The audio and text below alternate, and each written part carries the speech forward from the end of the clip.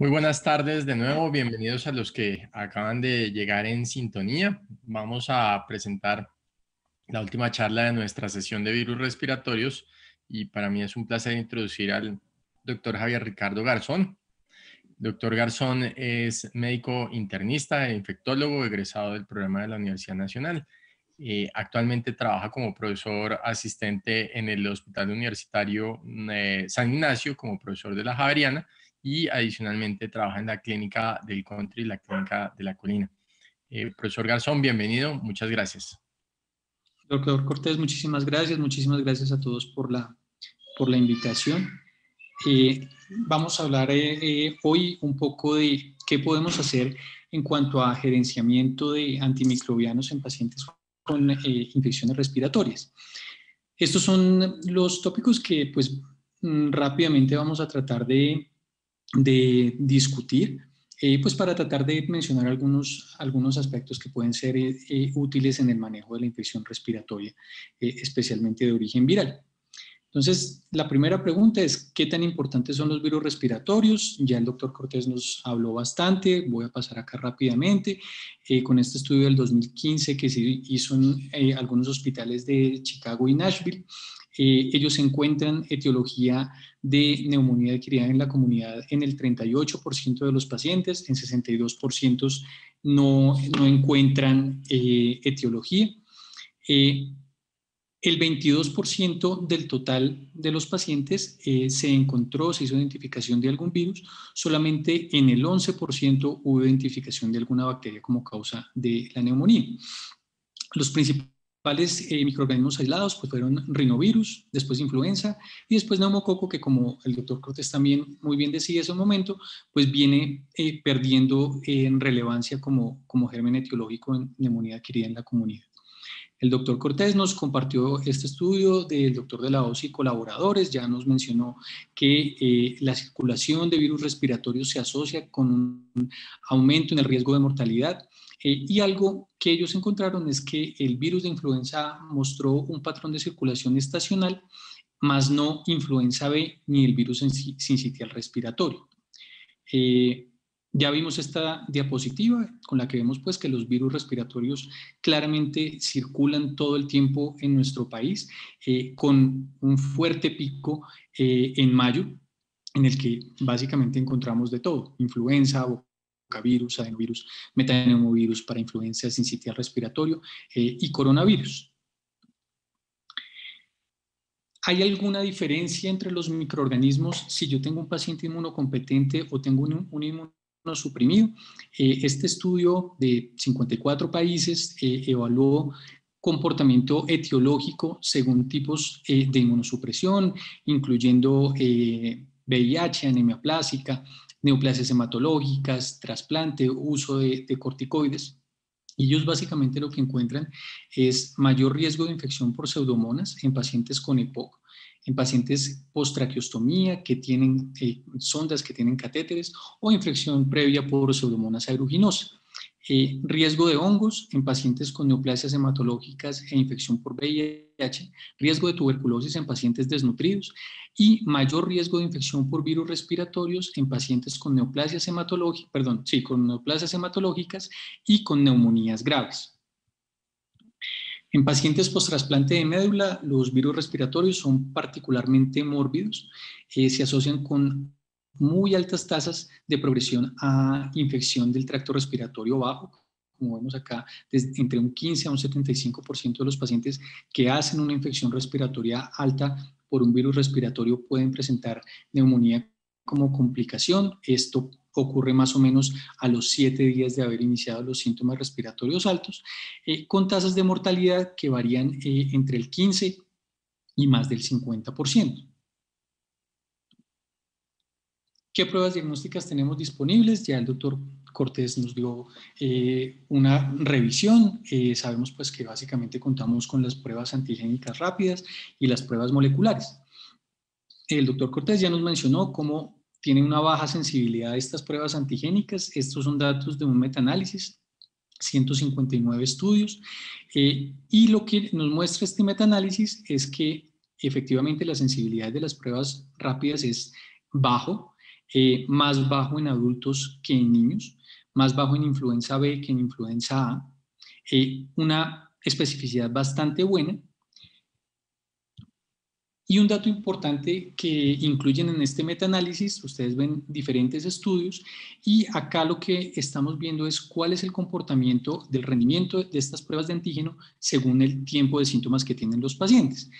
El momento ideal, según lo que encuentran estos autores, es en el día 2 de inicio de síntomas. Si yo hago mi prueba eh, rápida de antígeno a los dos días de, haber empezado los síntomas de los pacientes, probablemente es el mejor momento en el que yo puedo tener la mejor, la mejor eh, rendimiento de la, de la prueba, valga la redundancia.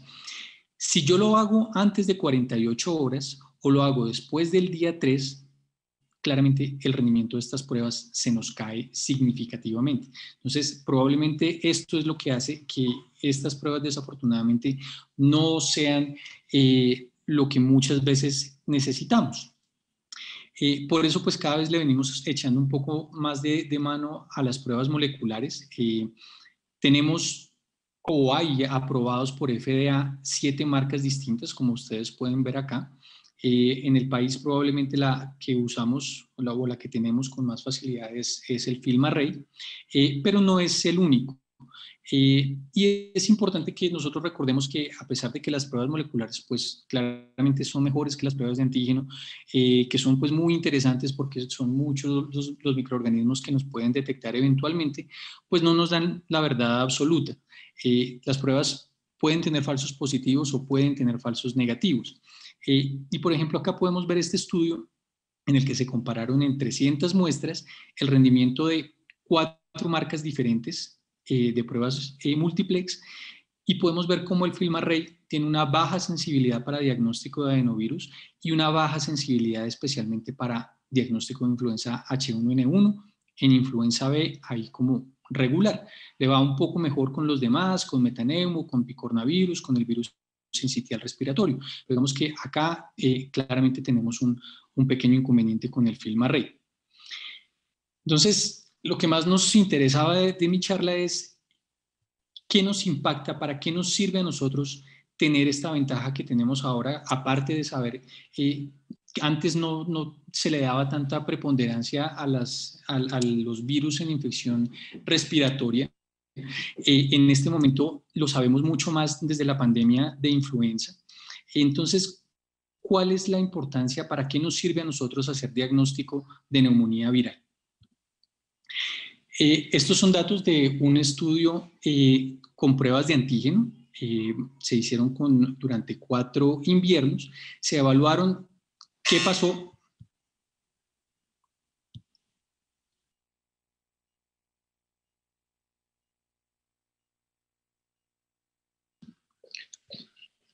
perdón, inconvenientes técnicos, eh, se evaluó qué pasó con, en los pacientes que tenían pruebas de antígeno positivo en comparación con quienes tenían pruebas de antígeno negativo. Los pacientes que tenían pruebas de antígeno positivo tuvieron menos uso de antibióticos en comparación con quienes, en quienes no se detectó ningún virus. Entonces uno diría, bueno, parece ser eh, útil eh, para diferenciar quién tiene infección viral de quién no la tiene y eventualmente decir sencillamente no usamos eh, antibióticos eh, empíricos en esos pacientes. Este es un estudio en, pediatría, un metaanálisis de cuatro estudios, se incluyeron 759 niños y ellos encontraron que el uso de las pruebas antigénicas no cambió el uso de antibióticos. ¿Qué pasa con, el, con las pruebas moleculares? Eh, en este estudio que se hizo retrospectivo en pacientes en urgencias, eh, se encontró que los pacientes en los, a los que se hacía eh, identificación de virus por pruebas moleculares, se disminuía el tiempo de estancia hospitalaria, se disminuyó la duración de antimicrobianos y se disminuyó la solicitud de radiografías de tórax. En este se comparó el porcentaje de uso inapropiado de antibióticos eh, y el tiempo de duración de antibióticos en adultos y en niños. Y lo que ellos encuentran es que en niños se disminuyó significativamente el uso inapropiado de antibióticos con las pruebas moleculares. No pasó lo mismo en adultos, pero en ambas poblaciones sí se logró una disminución del tiempo de uso de antibióticos. Otros estudios han evaluado desenlaces similares, por ejemplo, tenemos este estudio de Australia, casi 1.500 pacientes. Eh, ellos encuentran disminución de los ingresos hospitalarios eh, de un 73 a un 77%, para ellos fue eh, significativo el, el resultado. Este estudio en Bélgica mucho menos uso de antibióticos en los pacientes con pruebas moleculares. Este estudio en Canadá no encontró diferencia en el uso de antibióticos. Este en Taiwán sí encontró disminución del uso de antibióticos. Un estudio cuasi experimental eh, en Estados Unidos en pacientes inmunosuprimidos no encontró diferencias en el uso de antibióticos, pero sí disminución de la estancia hospitalaria en los pacientes que tenían diagnóstico de neumonía viral. En Australia, este estudio, disminución del 34% de uso de antimicrobianos. Y en China, este estudio muy pequeñito, eh, marcada disminución del uso de antibióticos con siete días menos eh, de, tiempo de tratamiento para estos pacientes. Entonces, hasta ahí uno diría, parece que puede haber una utilidad, eh, pero son pruebas que son costosas. Nosotros tenemos circulación todo el tiempo de virus respiratorios, Así que la pregunta a seguir es, listo, yo la uso para todos mis pacientes que vengan con gripa. ¿Esto es costo efectivo para, para mi sistema de salud? Eh, en Clinical Infectious Diseases se publicó este estudio en 2005, eh, pequeñito, 107 pacientes. Ellos encuentran que no hay cambio en los tiempos de hospitalización, en la duración de antibióticos, ni en los costos de la hospitalización en los pacientes que se utilizan pruebas moleculares. Sin embargo, en este estudio que se publicó en el 2009, eh, los autores comparan el uso de pruebas moleculares con pruebas antigénicas, pruebas antigénicas más cultivo, que pues nosotros solamente la tenemos para laboratorios de referencia, o pruebas antigénicas más pruebas moleculares.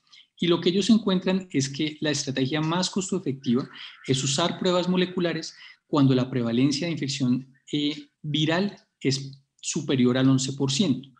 Cuando la, prevalencia es inferior a este 11%, eh, las pruebas antigénicas son más costo efectivas. Así que uno diría, esa podría ser una, una forma de usarlo. Yo diría, eh, en el pico respiratorio le doy preponderancia a las pruebas moleculares sobre las pruebas rápidas. Eh, pero pues ya dijimos, en Colombia circulan estos virus todo el tiempo. No usamos un film array, sino en los picos respiratorios. A mí se me ocurre eh, como alternativa usar las escalas de riesgo que están validadas en neumonía viral. Eh, una es esta que se desarrolló en China. Ellos eh, encuentran que los pacientes con infiltrados multilobares, con linfocitos de menos de 800, con infección bacteriana, fumadores, hipertensos o personas mayores de 60 años tienen mayor riesgo de mortalidad. Ellos desarrollan pues, un, un score, un puntaje para cada uno de estos ítems y quienes suman más de 12 puntos, pues tienen un mayor riesgo de mortalidad, como lo podemos ver acá. Eh, la probabilidad de sobrevivir en quienes tienen más de 12 puntos por este score eh, es mucho menor que quienes tienen menos de este puntaje. Eh, si uno no se quiere aprender ese, ese score, podría usar el PSI. Este es un estudio en el que evaluaron, evaluaron cómo se comporta el PSI en pacientes con neumonía en los que se detecta virus y en los que no se detecta virus y encuentran que el rendimiento no cambia. Eh, uno ve que el CURV 65 no, no, no, es muy bueno, por ejemplo, en los pacientes con, con SARS-CoV-2, eh, pero este estudio nos dice que probablemente el PSI sí podría ser una alternativa eh, en los pacientes con neumonía viral. Así que uno podría decir, si yo no tengo mi paciente en pico, pero tengo un paciente con con riesgo de mortalidad o un paciente con una neumonía grave, eh, probablemente el uso de, una PCR multiplex eh, probablemente es costo efectivo.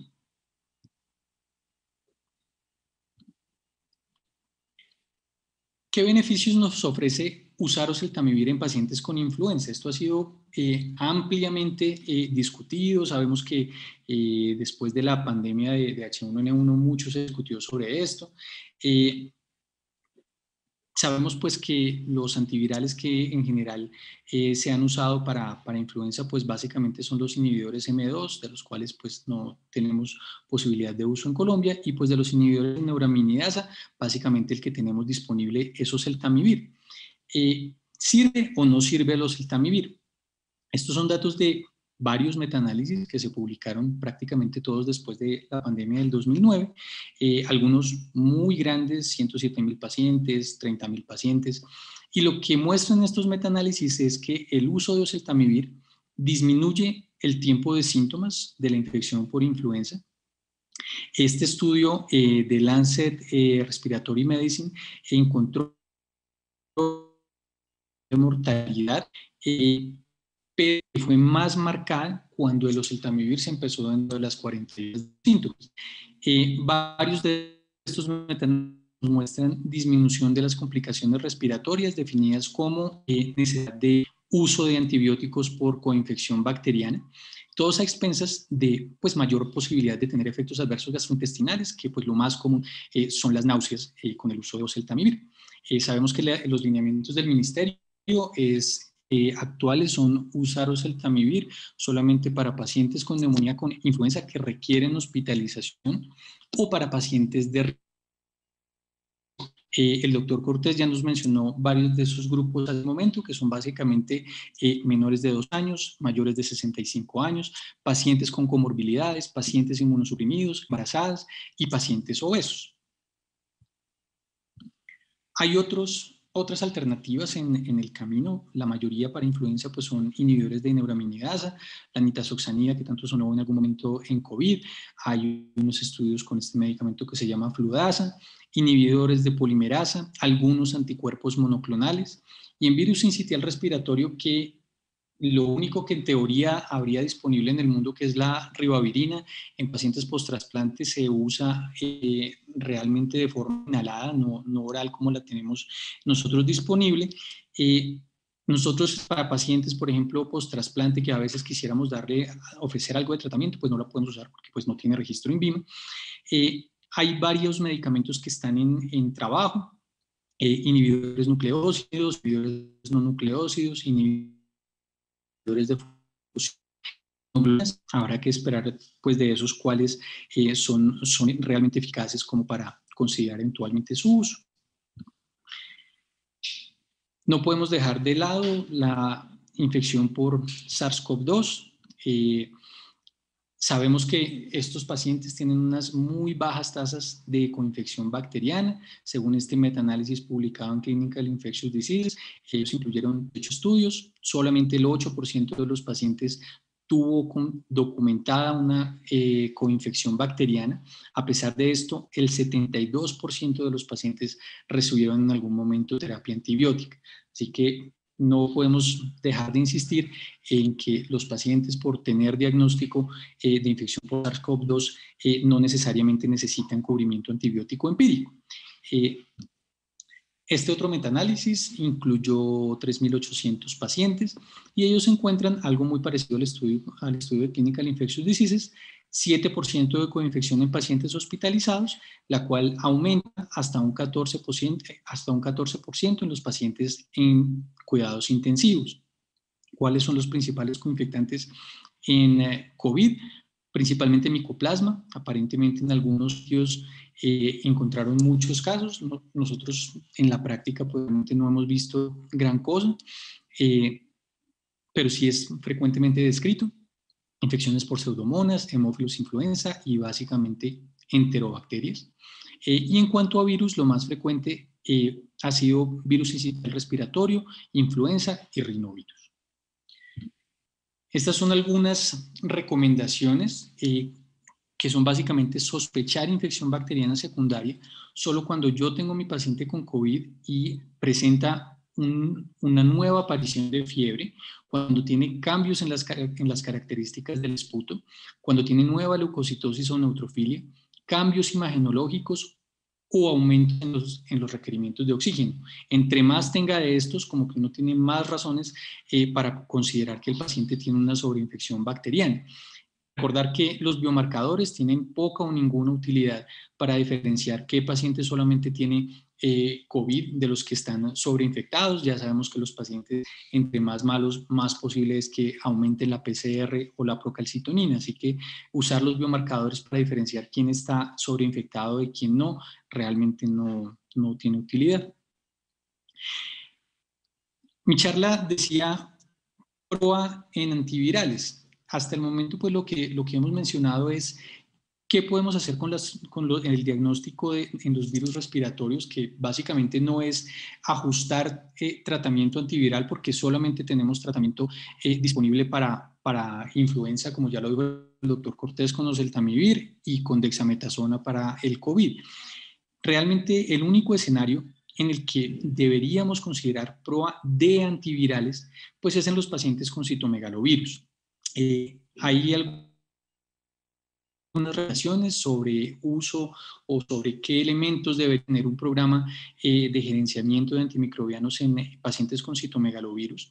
y básicamente lo que nos recomiendan es que haya pues implementación de guías adaptadas al contexto local, por supuesto por expertos locales, con inclusión de equipos multidisciplinarios, apropiada asignación de recursos, optimización de dosis, auditoría y alimentación y mediciones del rendimiento, como por ejemplo lo plantea la guía colombiana eh, de manejo de citomegalovirus en pacientes post-trasplante renal, que nos plantea algunos indicadores de, calidad y creo que eso es a lo que hace referencia. Eh, ¿Por qué si necesitamos hacer prueba en pacientes con citomegalovirus? Porque de los virus que nosotros manejamos en la práctica clínica, pues es el único que tiene diferentes eh, familias casi todo lo tenemos disponible en Colombia. Eh, ustedes habrán visto mucho más tratamientos con aciclovir, con ganciclovir, eh, con valganciclovir, foscarnet, sidofovir. Eh, aciclovir les puede sonar raro a algunos, eh, pero la, la realidad es que aciclovir tiene actividad contra citomegalovirus, mucho menos potente que la que tiene ganciclovir o valganciclovir porque sus concentraciones, sus concentraciones celulares son mucho más bajas. Eh, Foscarnet, pues básicamente lo utilizamos en pacientes que tengan sospecha de citomegalovirus resistente o que tengan toxicidad por eh, ganciclovir.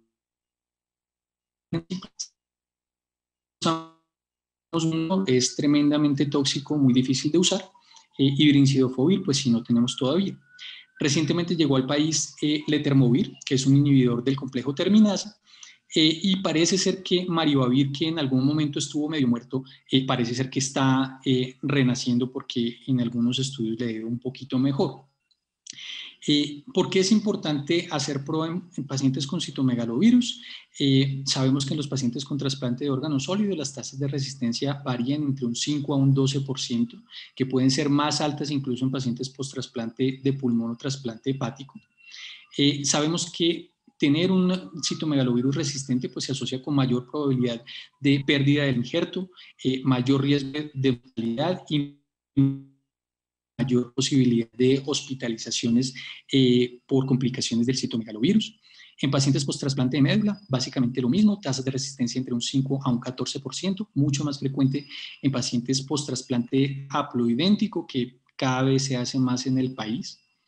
Eh, estas son las recomendaciones europeas para manejo de citomegalovirus en trasplante de médula. Vemos todas las alternativas que acabamos de mencionar y pues ya se incluye el Etermovir porque se publicó este estudio en el que se encontró que su uso es más eficaz para prevenir eh, infección por citomegalovirus en comparación con, ellos acá le ponen placebo, pero no era placebo, era terapia anticipada, que es lo que normalmente se hace en pacientes post-trasplante.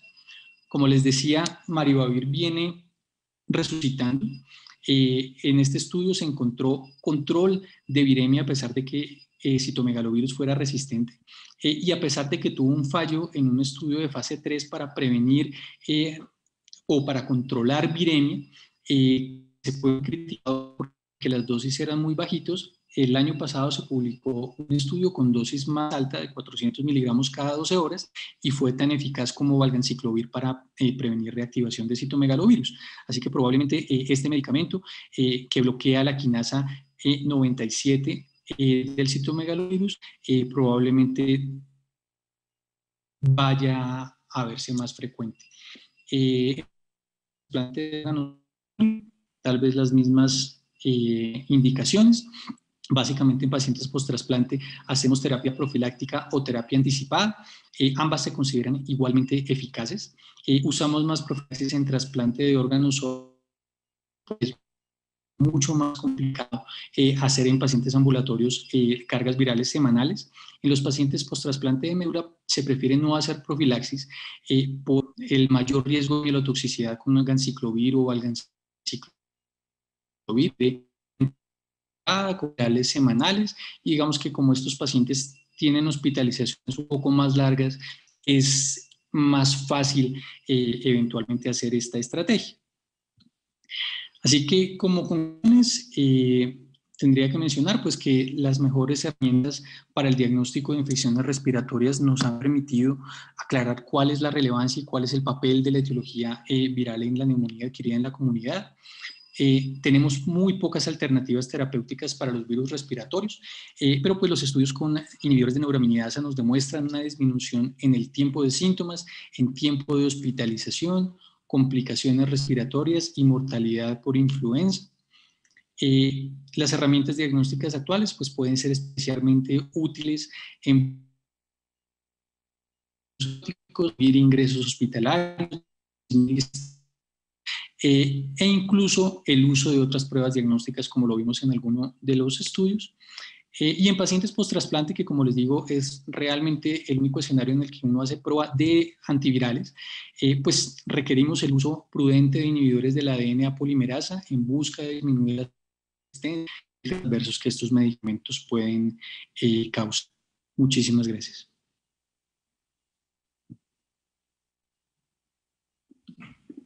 Muchísimas gracias, doctor Garzón, por su conferencia y eh, muchísimas gracias a todos ustedes por acompañarnos. Eh, no sé si vaya a haber sesión de preguntas.